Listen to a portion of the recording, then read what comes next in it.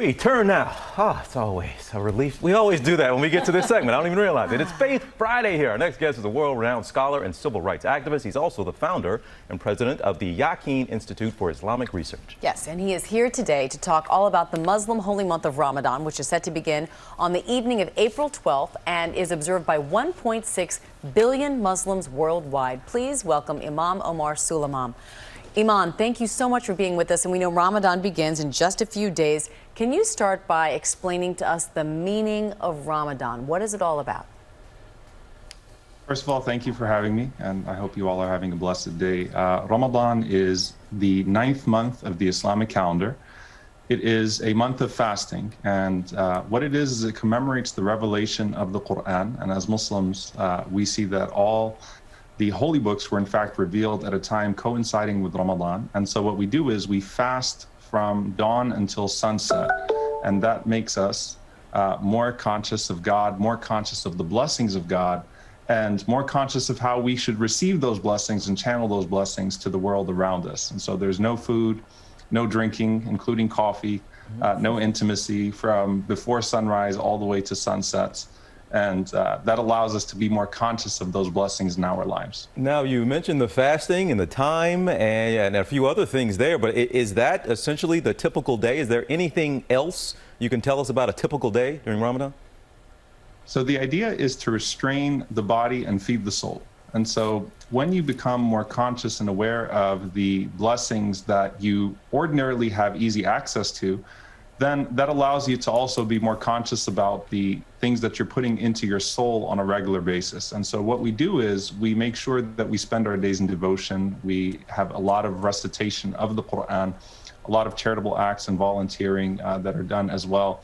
And so it's a lot of service initiatives, a lot of prayer, and a lot of giving our soul its proper time since we give our body so much time. Mm-hmm uh, throughout the year. Hmm. Well, this is now the second Ramadan in the middle of a global pandemic. So, how will things look this year? How has it changed how you observe this holy period? So, last year, you know, the, the quarantine came right before Ramadan, and so practically every mosque was entirely shut. Um, that didn't stop us from our service initiatives, and so Muslims were still, you know, in the inner cities serving food, uh, serving the homeless, making sure that they were involved in many of the service initiatives that mark Ramadan for us as a community.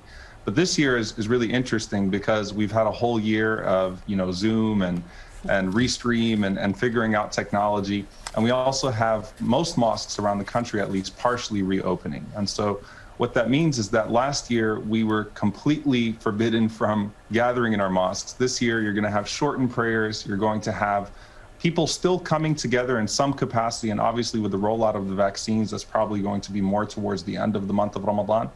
You're still going to have a lot of charitable initiatives and people coming together to serve. But you're also going to have a lot of people that are going to be missing from our community that we had seen in prior Ramadan. So I think that that's going to really dawn upon us in a very difficult way since you know a lot of those familiar faces that we're used to seeing in the mosques in the month of Ramadan are not going to be there this year as we gather even for that short time. All right, well, we've come now to that point, which is one of our favorite parts of our Faith Friday segment, where we have our guests uh, just give our, our viewers, give us all just kind of a message of hope, some inspiration going into the weekend. So, what do you have for us? So, Ramadan is about us becoming more aware of our blessings. And I think that there are a lot of blessings that we used to take for granted that we've now become more aware of. And the idea is that the more aware you become of those blessings, the more aware you become of the one who bestowed them upon you, and the more aware you become of yourself and how you can channel those blessings to society. And so Muslims will be trying to emulate the Prophet Muhammad, peace be upon him, who was described as more generous than a blowing wind. And the Prophet Muhammad, peace be upon him, said, even a smile is charity. And so, my message to everyone, including my own community and myself, of course, is to channel that spirit of generosity in the broadest sense possible to be a force of healing and not to underestimate the smallest act of kindness and charity at a time when we are surrounded by acts of cruelty and at the same time are in are deeply in need of, uh, of healing and deeply in need of the mercy that we seek to be vehicles of. Oh my goodness, even a smile. some of our some of the folks in our in our studio here, our some of our camera ops, our stage managers, they just pulled their masks down for a second and gave me a smile when you said that, Imam.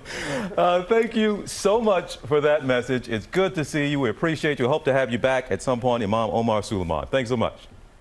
Thank you. I appreciate you. Well, hey there, GMA fans. Robin Roberts here. Thanks for checking out our YouTube channel. Lots of great stuff here. So go on, click the subscribe button right over right over here to get more of awesome videos and content from GMA every day, anytime. We thank you for watching, and we'll see you in the morning on GMA.